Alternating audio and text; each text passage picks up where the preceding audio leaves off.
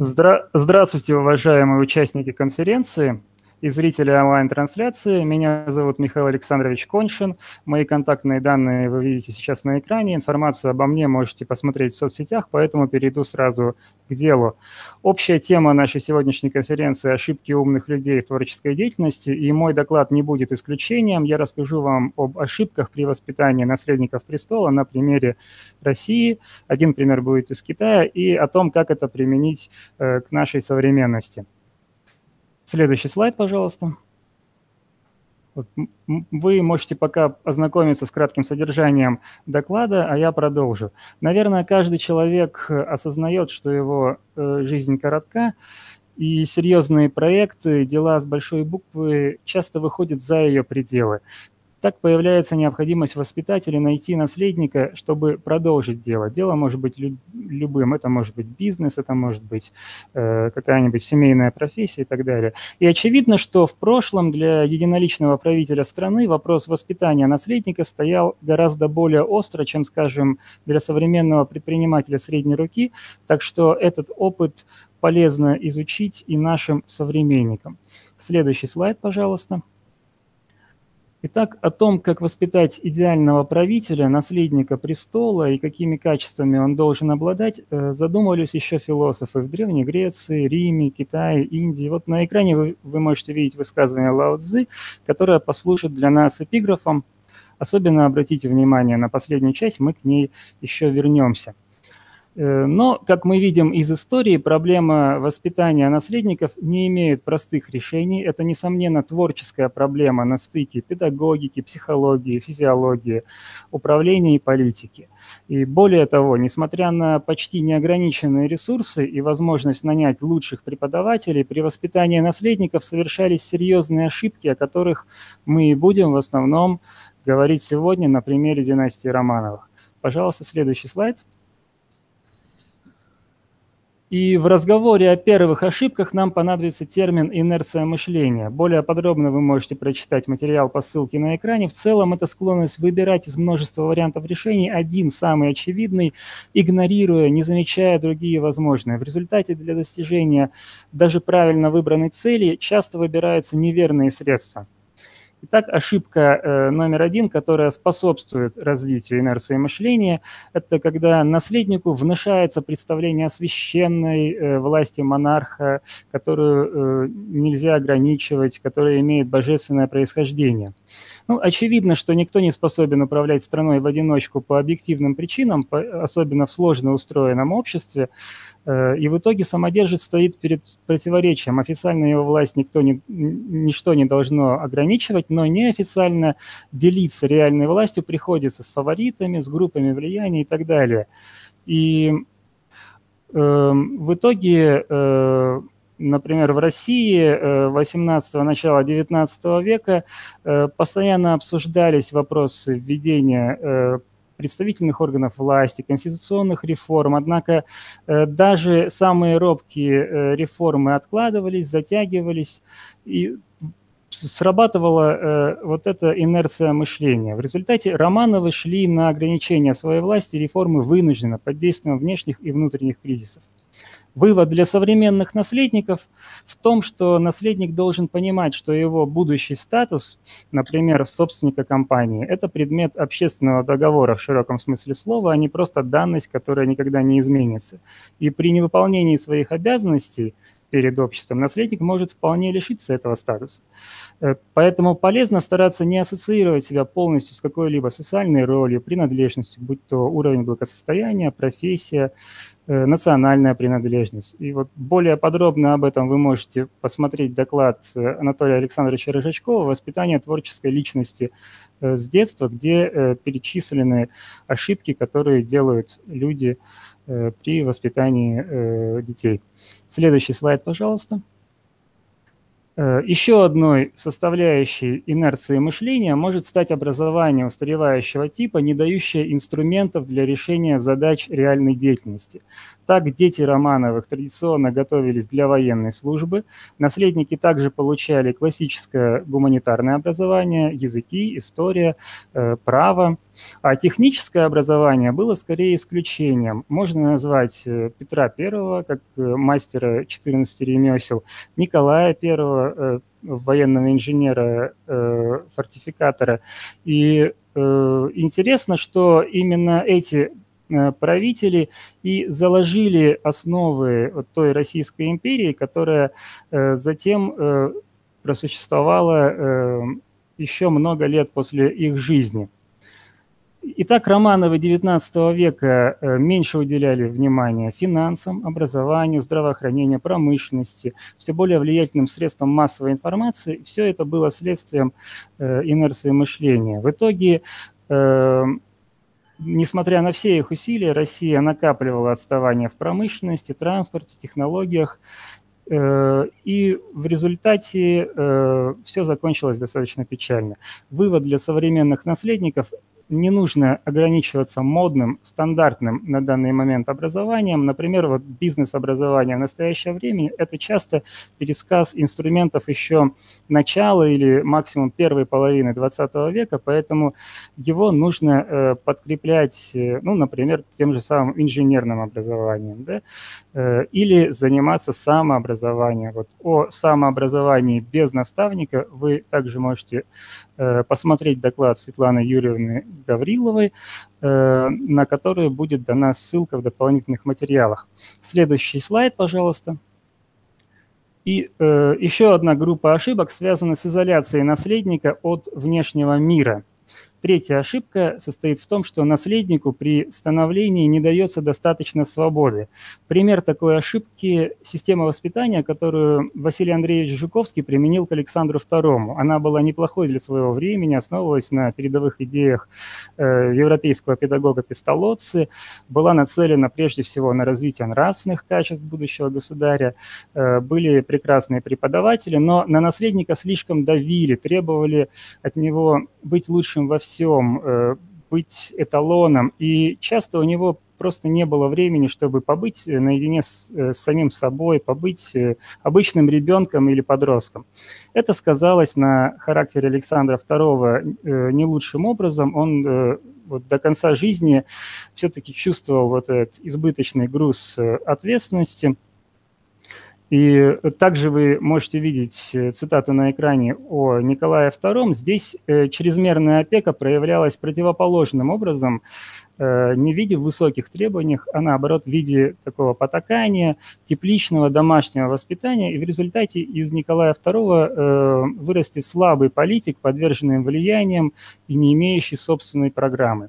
Пожалуйста, следующий слайд – Ошибка четвертая, она следует из предыдущей. Наследник имеет поверхностные знания о своей стране, ее населении, народе, то есть о среде, в которой он должен работать. Эта ошибка свойственна всем романам в той или иной мере, особенно после Петра I.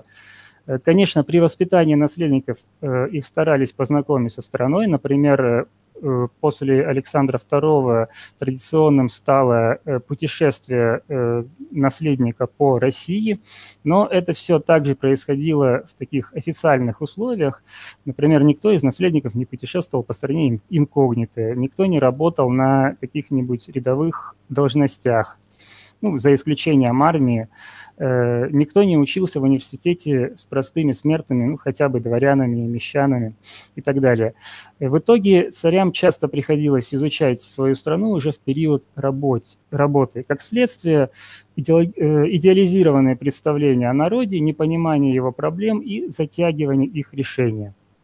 Контрпримерами здесь может служить Петр I, как практик, как очень деятельный царь, и э, тандем Николая I, Александра II в последние э, годы царствования Николая I, прошу прощения, когда э, царь и наследник фактически э, правили совместно. Александр II с 19 лет пребывал на различных государственных и военных должностях, и он активно учился.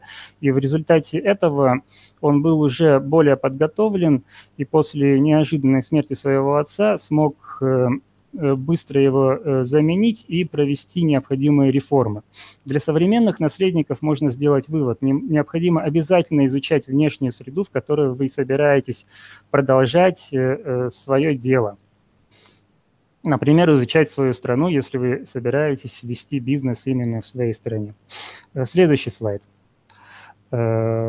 Пятая ошибка, когда в окружении наследников нет сверстников, ставящих достойные цели, которые могли бы стать его соратниками и друзьями. Например, почти единственным другом Александра III был Владимир Петрович Мещерский. Это редактор журнала «Гражданин», очень консервативно настроенный. Э, и один из придворных писал, что дружба с ним поощряла семьей, так как из всех э, молодых людей высшего общества он один имел некоторые умственные и литературные интересы. То есть э, интересно представить, что представляли собой все остальные вот люди высшего света. И таким образом Александр III сформировался под влиянием прежде всего консерваторов, что также наложило отпечаток на его правление и повлекло некоторые ошибки. Пример о Николае II вы можете прочитать на экране. Эм, в целом эту ошибку также совершали все Романовы XIX века. И рекомендация наследникам сформулировать для себя достойную цель как можно раньше и искать сверстников с, с достойными целями. Здесь достойная цель – это термин э, в рамках жизненной стратегии э, творческой личности Генриха Сауловича Альтшулера. И ссылку, э, ссылка на ролик э, о первых дебютных шагах этой стратегии будет также дана в, в дополнительных материалах. Следующий слайд, пожалуйста.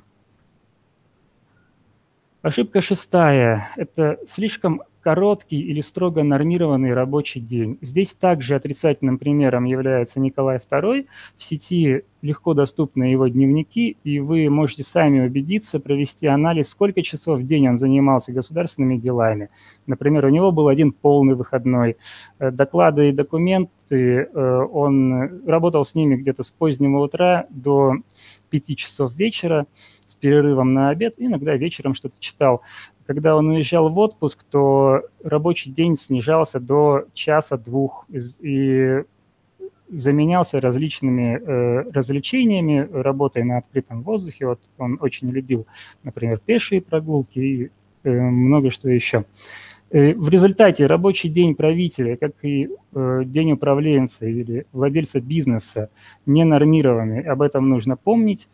Помнить о том, что ответственность возвраща... Э, возрастает с продвижением человека по служебной лестнице, и поэтому ограничиваться 8 часами работы в день для руководителя, ну, вряд ли оправдано.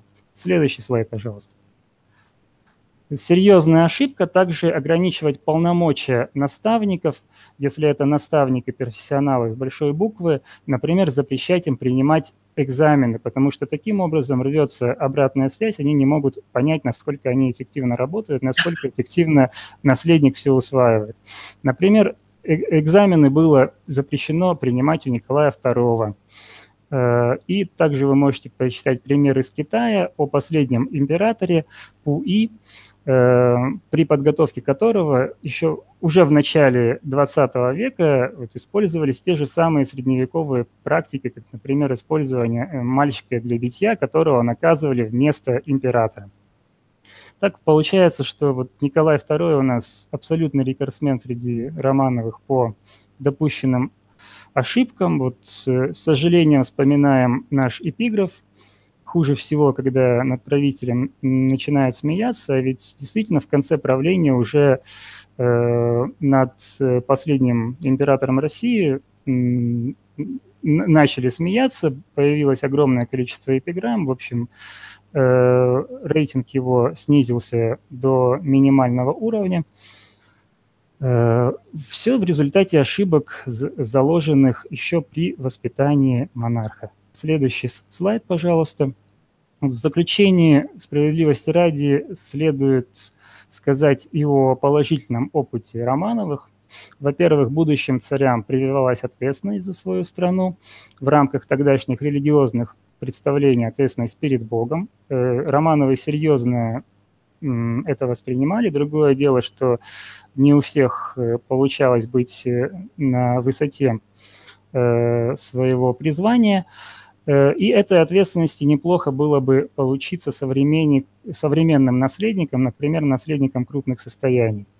Также Романовы XIX века старались привлекать лучших преподавателей, в частности, э, здесь примеры Александра II, для Николая II работали э, весьма профессиональные люди, но, как я уже сказал, их сильно ограничивали в полномочиях. У э, царя Алексея Михайловича можно поучиться размеренному распорядку дня. Также э, хорошие рабочие ритмы были у Николая I, у Александра II. Им э, был характерен такой строгий спартанский стиль, строгий распорядок дня. Петр I служит примером раннего входа в деятельность через игру, увлечение деятельностью, которая будет сохраняться всю жизнь. Э, и из Романовых у Петра э, было наиболее гибкое мышление, наименее э, наиболее низкая инерция мышления. Также следует помнить э, о балансе физической и интеллектуальной нагрузки, которая также присутствовала в подготовке наследников из Романовых. Следующий слайд, пожалуйста. Итак, мы подошли к выводам. Э, список применительно к современности вы можете видеть на экране. Проговорю еще раз кратко, чего следует избегать. Избегать следует, во-первых, формирования инерции мышления, не привязывать наследника к его статусу, не навязывать устаревшие представления. Второе, не допускать изоляции наследника в семье или в своем узком социальном кругу. Третье, не ограничивать полномочия настоящих наставников-профессионалов. Четвертое, не учить наследника лениться. Следующий слайд – и полезные выводы, чему можно поучиться. Пониманию того, что с каждым статусом связаны свои обязанности перед другими, э, стремление э, искать лучших наставников и учиться у лучших, Третье – размеренные э, ритмы с балансом физических, умственных нагрузок и стараться э, для ребенка, для своего будущего наследника найти увлекательную деятельность, пока ребенок любознательный, знакомить его с различными э, занятиями, эм, чтобы он получил возможность встретиться с чудом. В целом, заключительные выводы и в целом заключительные вопросы у меня также есть слушателям. Вот при анализе биографий э, Романовых у меня возникли вопросы, вот всегда ли наследник должен быть кровным родственником, и всегда ли наследник – это один человек, а не некий коллектив? Потому что очевидные э, приставки на одного наследника, огромные э, риски, э, риски ошибок, риски каких-то непредвиденных обстоятельств, поэтому вот э, это все тоже нужно учитывать. Пожалуйста, следующий слайд. Вот это э, дополнительные ссылки. Э, видео будет э, после трансляции сформировано, и там к первому прикрепленному слайду э, будут прикреплены все э, ссылки на дополнительные материалы, о которых мы сейчас говорили. Я очень рекомендую их внимательно изучить, проконспектировать. Вот мой доклад носит такой обзорный характер, а это уже более полезные, более предметные материалы. Следующий слайд, пожалуйста. Так, у меня все. Прошу присылать в чате свои вопросы. На почту или в соцсети вы можете присылать примеры воспитания наследников, примеры воспитания э, элит в области бизнеса, политики, науки. Э, собственно, и все. Спасибо за внимание.